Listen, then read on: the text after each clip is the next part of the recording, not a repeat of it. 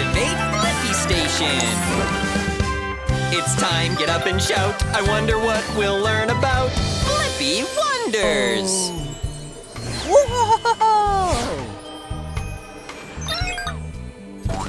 Whoa, Tabs! That bouncy castle is out of this world!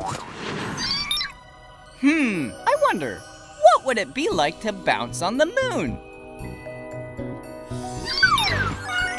Great idea, Tabs! We can go to the moon and find out! I'm gonna need a rocket booster, excavator arm, and frog legs!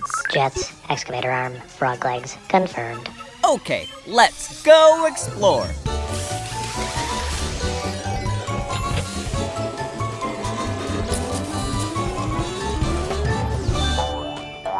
The Blippi Mobile is ready to blast off for adventure.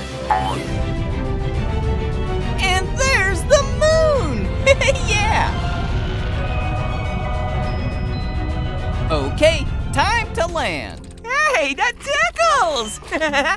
Who are you? My name's Rocky the Moon Rock because, uh, I'm a rock. Hey, Rocky.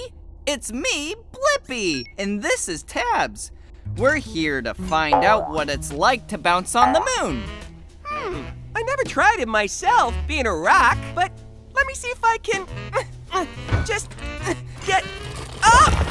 All right, then let's bounce.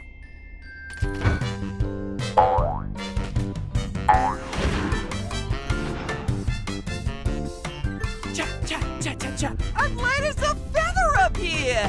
I never knew I could have been having so much fun. Woohoo! It's amazing that we're staying up here this long.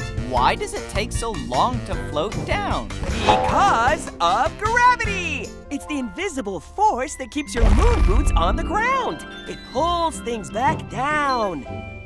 But, but, but, there's way less gravity around the moon than on Earth because the moon is so much smaller. That's why we float for so long. I have the answer to my question. What would it be like to bounce on the moon?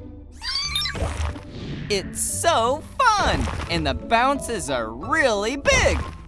Because there's less gravity on the moon than there is on Earth. Upload answer Tabs.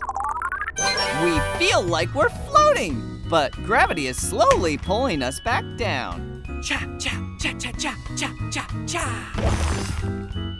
Thanks for the greatest time that I, Rocky the Moon Rock, ever had. Bye, Rocky!